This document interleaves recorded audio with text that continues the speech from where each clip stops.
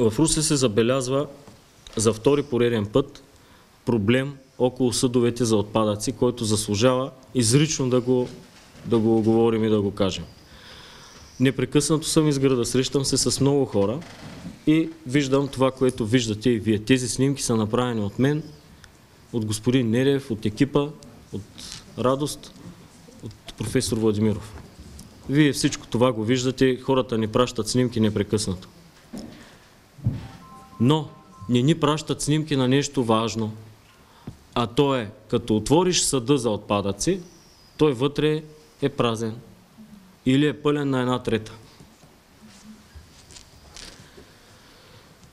Сега ще ви кажа няколко важни неща.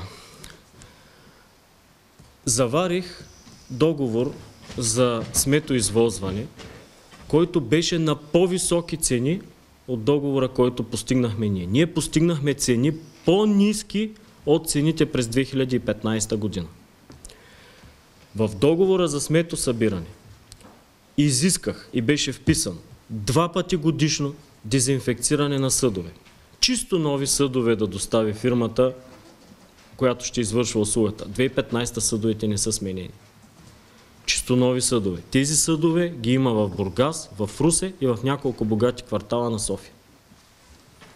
Камионите са Евро 6. Спомняте ли си нашата реалност? Така хубава, приказна. Какво беше? Едни камиони, които не знаеш точно как се движат, с едни хора, които се возят отзад, зиме, лете, викат, подвикват. Движеха се през деня, блокираха малките улички, тракане, бухане, блъскане. Тези камиони се движат през нощта. Те са Евро 6 и целият град ще бъде сложени такива съдове. Забавят се определени квартали заради жиците на доставчиците на телекомуникационни услуги. Сега ще бъде разположени в централна градска част. Най-важното за тези съдове, защо се спряхме? Съда се отваря и се затваря, отвора е малък и пази отпадъка сух. Русенци трябва да чуят едно. Когато отпадъка нашия стои отворен така, вали дъжд, за всеки тон, който влиза на депо, ние в момента плащаме 82 лева на институцията РИОСВ по сметка. За всеки тон им плащаме 82 лева. Е така на държавата. До година ще станат 95 на тон. Така че не е ли по-добре за нас отпадъка да е сух? А защо да е сух също така? Защото сключихме договор с сепаратор, който в момента дооборудва за близо 3 милиона лева машини, за да сепарира отпадъците и да извади от тях почти 10% от теглото. Като извариш 10%, но може да извариш от сух отпадък. Затова съдовете трябва да пазят отпадъка, за да е сух, да могат да се отработят машините. Затова сме се спрели на тези съдове. За мен се получава абсолютно ясно следното. Хора, дали злонамерено, дали поради немърливост, дали поради поръчка, слагат битовия си отпадък извън съдовете за отпадъци. И то точно, и то точно, и то точно на пътя на отпадък. Там, където трябва да натиснеш, да стъпиш и да се отвори. Можеш да дигнеш и с ръчичка. Фирмата изпълнител има по договор задължение да отнася съдовете всеки ден всеки ден фирмата е разположила пак по договора, който сключихме, GPS на всеки камион. Има служител, който има трудовите задължения да следи всеки съд, изнася ли се всеки ден. Има неизнесени съдове. Хиляда лева е глобата на ден.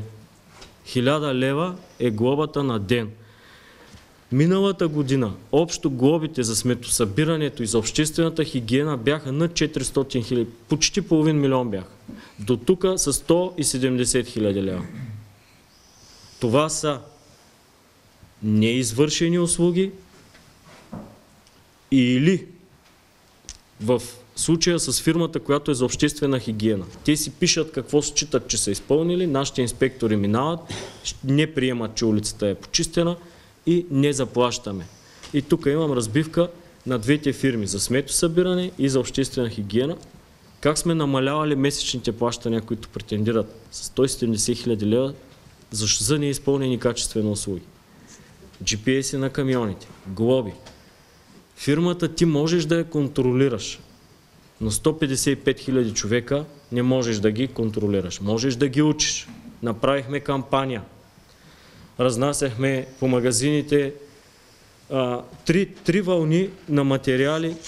По всеки един стопански обект сме разнесли как магазините и заведенията трябва да третират отпадъците си. Не може магазин за обувки да хвърля кутиите за обувки в съд за общ битов отпадък. Той нарушава закона. Всеки магазин, всяко заведение трябва да има система за управление на отпадъците. Да сключи договор с фирмата, както Община Русе от името на Русенци е изключил. Имаш заведение и казваш колко пъти седмично или всеки ден да идва съд за отпадъци. Имаш магазин, а какво виждаме ние? Куриерски фирми, търговски фирми, всичко живо се изхвърля отпадъците в съдовете за гражданите.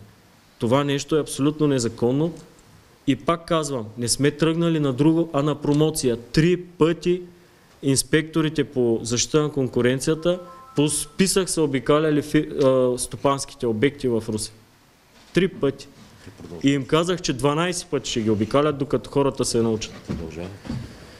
Дали съдовете са удобни или не са удобни? Съдовете са здрави, ергономични, могат да се отварят с крак или с ръка. Действително предполагат в тях да не се хвърлят едри отпадъци. Сега ще кажа и за едрите отпадъци. Така наричаните едрогабаритни отпадъци, ЕГО, сме го предвидели в договора. Човек си изхвърлил пералня. Незаконно, но е сложил до това. В нашото законодателство човека трябва да изнесе сметището. Минава камион, отделен камион, който минава и обира тези отпадъци, които са около съдовете за отпадъци. Затова някой снима клипче, че минал камиона за отпадъци, вдигнал съда за отпадъци, обаче не бил обрал. Еми защото ние сме взели камион Евро 6 с съдове, които са за общество, което си хвърля отпадъците вътре в съда. И шофьора хваща съда и го изхвърля. След него, защото става по-бавно, в града върви камион за така нареченото его. Лошото за русенци обаче е, че хвърляйки си отпадъците отстрани, тези отпадъци не преминават през сепариращата инсталация, защото камиона с едрогабаритния отпадък, а той не е едрогабаритен, а е точно този нормален битов, отива директно на сепаратора. И имам разбивка само за 10 дни, директно на депото, русенци са загубили 20 000 лева. Около 700 хиляди за 12 месеца е сметнал господин Нерев. Ще загубим, ако продължаваме да си хвърляме отпадъците до съдовете за отпадъци. Прави се анализ за брой живущи за това. Сменяме едно място на съд за отпадъци. И хората почват, продължават да си хвърлят отпадъците там, където им е бил съда за отпадъци. И трупат планина. Опити няколко пъти, разговори с домоуправителите, при което след това им казах, върнете контейнера, където му, съда за отпадъци, където му е мястото. Искам да говоря чрез вас на хората. Искам да им кажа. Града може да бъде чист и подреден, но не може един човек да го почисти и да го подреди. Не може и 40 служителя на фирмата за сметосъбиране да изхвърлят, ако 155 хиляди си хвърлят около съдовете за отпадъци. Взето е нещо хубаво, красиво. Нека да го използваме по начина по който е. Когато имаш кашон от телевизор, направи усилие да го сгънеш, да го срежеш, намери точката на цветните контейнери, които са за хартия има специални. В Русе точките за цветните контейнери са с 72 повече спрямо населението. Може да са не на всяко място, където има съдове за битов отпадък, но има много съдове за разделно събиране. Вместо това в съдовете за битов отпадък, кашони, перални, стъклени бутилки. В договора с фирмата сме включили промоционална кампания, тя да извърши за нейна сметка. Не знам как я върши. Ще упражня контрол по договора, защото според мен не върши такава кампания. За това събрах медиите и искам да ви обясна. За мен проблем има. Не може да се скриеме, че няма проблем. Но този проблем си го създаваме ние. Не е поради неизнасяне на съда за отпадъци. Прикалвам гражданите, добросъвестните, да проявят настойчивост и да изхвърлят битовия си отпадък в съдовете за битов отпадък. Не знам, показват ли се снимки на празни съдове. Пълно около съда, а вътре в него празно. С това нещо няма друг начин, освен с говорене с хората, да се справим. Пращат ми сигнали, коя съседка от кой вход си била хвърляла кисийката отвън. Хората вече почват да, да мислят, нали, че това е някаква форма на конспирация. Защото си хвърлят десетки граждани кисийките или стотици извън съдовете за отпадъци. И аз ви казах, това ни струва и страшно много пари. Фирмата се следи с GPS, фирмата от вчера, днес и утре ще работят всички работници на извънредно работно време за преодолеят това. Това пак ще струва на русенци пари. Кмета и администрацията изразходват парите на русенци. Грижат се за тях и ги пазят. В момента виждам абсолютно безмислено разход на средства да изчистим сред хора, след хора, които не обичат града си и хвърлят навсякъде отпадъци. Почистихме нерегламентирани сметища миналата година, които от години години тровеха града ни. Изчистваме го от нерегламентираните сметища. Защо сега около съдовете гражданите правят такива сметища? Моя апел е да обичаме града си, да го пазим чист, да да направим нещо малко от себе си, малко усилие, дори да е за вас неудобно? Ние постоянно обикаляме. Много странно е, а, примерно, че в а, един и същ квартал има 3-4 контейнера, а, където отпадъка е разпилян, останалите са абсолютно чисти, прибрани, подредени. Дори улица Филип Станиславов беше в израден вид от най вечер минах 60 км в град Турция да обикалям, час и половина, да, да знам състоянието във всеки един район как е. И това, което прави впечатление, че сякаш умишлено голяма част от отпадъците, малките турбички дори, се изхвърлят отвън. Затова защо не влизат големи отпадъци? изчислено е, че тези контейнери събират отпадъци до 80 кг. Колко може да носи един човек като битов отпадък? Това са съдови за битови отпадъци, не са съдови за промишлени отпадъци. Това, което правим а, по кръговата економика и което ще бъде доставено следващата година са пет мобилни центъра за отпадъци, а, които ще разполож... бъдат разположени на територията на град Русия, заедно с съдове за строителни отпадъци.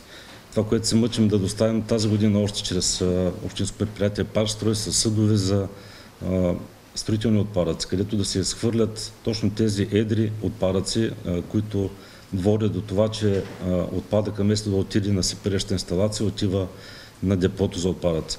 Защото индиректно а, ние влияем на себе си.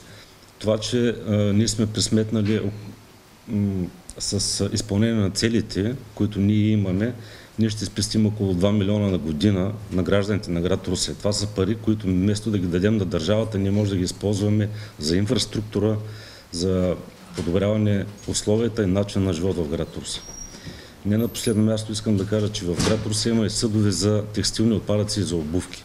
Но хората продължават, както има разположени един до друг такива контейнери, да изхвърлят в контейнерите за битови отпадъци, дрехи и обувки. Мисля, че понякога нещата опират и до съзнание и самосъзнание. И затова всички ние сме граждани на град Русе и ние, и вие и трябва да се грижим сами за себе си. Ако не го направим, няма кой да ни помогне.